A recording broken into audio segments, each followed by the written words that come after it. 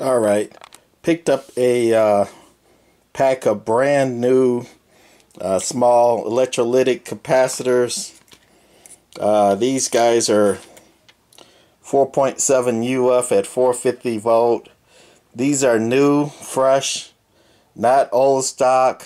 Um, brand new, just received them today. And uh, before I leave the company feedback, I was going to test them. And there's been a lot of talk to capacitors, electrolytics heat up. And I say they don't heat up, but they do burn in. The longer you use them or keep them on or run power to them, uh, the more they burn in, the less current they draw and the less resistance they pull. So I got one of these hooked up now to the meter. Brand new cap, never soldered, never used, not old stock, but new and fresh to the Sencore cap meter.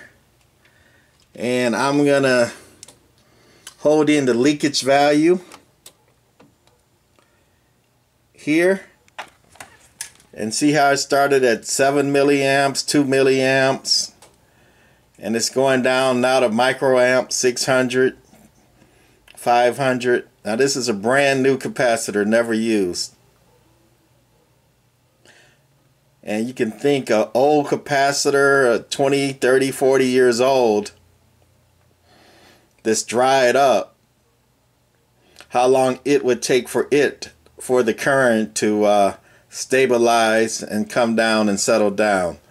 So again, it's not actually heating up and burned in is not really the right term either, but uh, maybe braked in.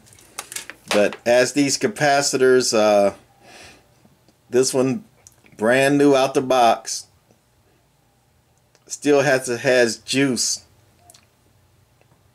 put to it for a while before the current settles down. Now we're at about a hundred microamps, where we started out at about uh, 7 amps, I believe.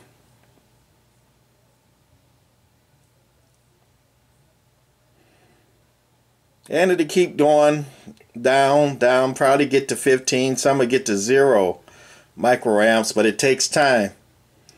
And this is what I mean by electrolytic capacitors need to be burned in or broke in or need time. Now if you leave them on and they stay charged, this doesn't happen. That's why some audiophiles, stereo files, and some of us into other high-end stuff like uh, uh, amateur radio, CB radio, leave old tube equipment on all the time because the capacitors break in and once it gets low on the microamps and settles down, it'll stay that way.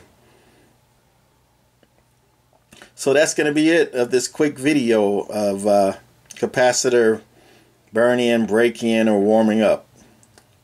Bye.